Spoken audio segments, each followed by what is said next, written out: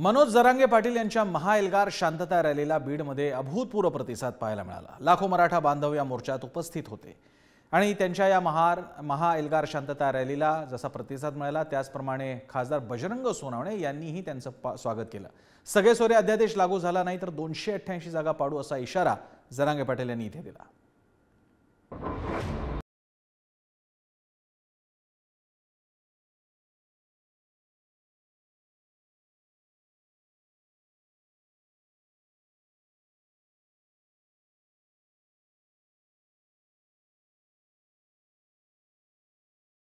जरांगे पाटील यांच्या महाएल्गार शांतता रॅलीला बीडमध्ये हा अभूतपूर्व प्रतिसाद मिळाला. कुठं रक्तानं घातलेली रांगोळी कुठं रस्त्याच्या दुतर्फा लावलेले होर्डिंग्स भगवे झेंडे असा माहोल बीडमध्ये पाहायला मिळाला. जिल्ह्यातून अनेक गावातून शेकडो गाड्यांचा ताफा बीडमध्ये दाखल झाला. बीडमध्ये दाखल होतानाच मनोज जरांगे पाटील यांनी धनगर समाजाच्या आरक्षण प्रश्नावर उपोषणाला बसलेल्या निर्मळ यांची भेट घेऊन चौकशी केली.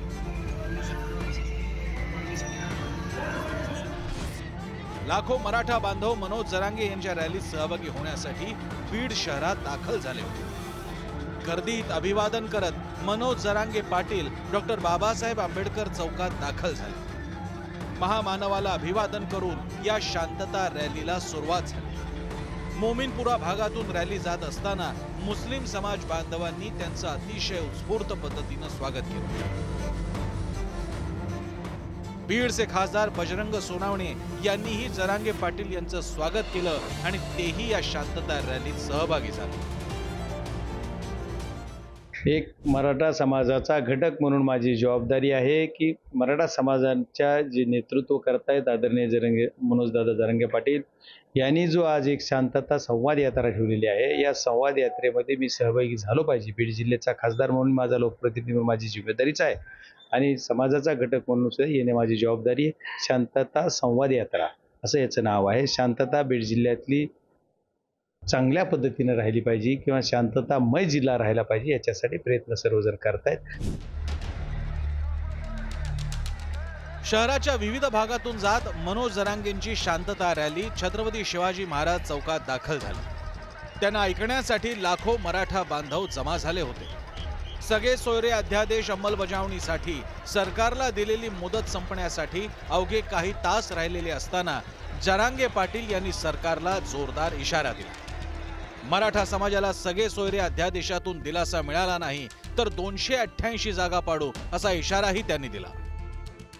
ज्या मराठ्यांची नोंद सापडल त्या नोंदीच्या आधारावरच महाराष्ट्रातील जो मराठा मागेल ज्या मराठ्यांची नोंद सापडली त्याच नोंदीच्या आधारावर राज्य अंतर्गत येणाऱ्या मराठा मागेल त्या मराठ्याला त्याच नोंदीच्या आधारावर कुणबी प्रमाणपत्र द्यायचे? त्यांचं म्हणणं आहे ओबीसीतून मराठ्याला आरक्षण द्यायचं आणि ओबीसीतून आरक्षण देण्यासाठी ती बैठक होती. मग याने जाऊन म्हणायचं ना ह्या विरोधक कोण येते महाविकास आघाडीवाली. द्या ओबीसीतून म्हणून. तुम्ही लपण कोण बसले. मराठ्याचं मतदान घ्यायला गोड लागत का? मला तर असा डाऊट यायला लागलाय हे दोन्ही सारखेच आहेत. महाविकास आघाडीवाले बी महायुतीवाले बी हे ठरित्यात वाटतं अंधारातून. तो आणल्यासारखं कर मी रडल्यासारखं करतो. माझं तर असं म्हणणं आहे सगळ्या मराठ्याला आपण आपले नेते जर असले कोणी त्यांना फोन लावून सांगा रे ओबीसीतून आरक्षण मागा म्हणून. नाही तर गावातच येऊ नको म्हणा आमच्या दारात. माय बापा हो लढाई जिंकायची बरं. काही झालं तरी जिंकायची. मी नाही हटत. किती संकट येऊ द्या. यांना काय डावं टाकायचं तर टाकू द्या. तुम्हाला बघितलं की माझ्या शंभर हत्तीचं बळ येतं माझं सगळं दुखणं पळून जातं. बीड नंतर जालन्यात शुक्रवारी जरांगे पाटील यांची शांतता रॅली निघणार आहे.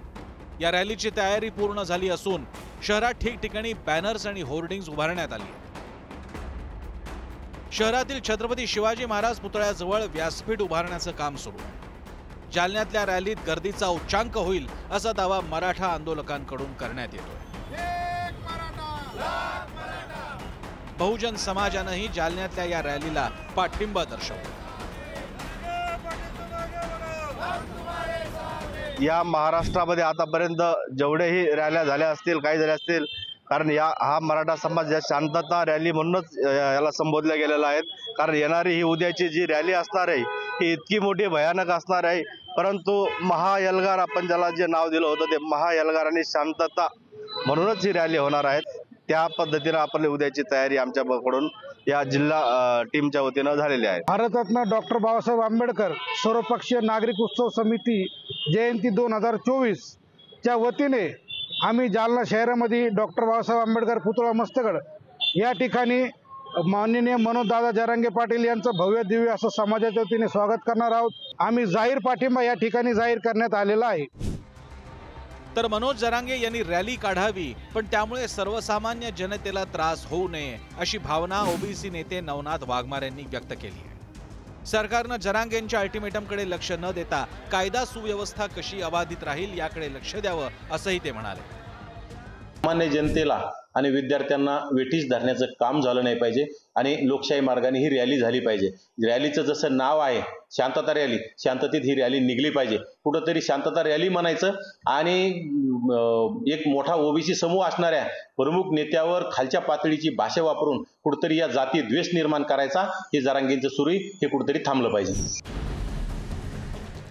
सगळे सोयरे अध्यादेशाच्या अंमलबजावणीसाठी जरांगेंनी सरकारला तेरा जुलैचा अल्टिमेटम दिलेला आहे. हा अल्टिमेटम संपण्यासाठी आता अवघ्या एका दिवसाचा कालावधी उरलाय.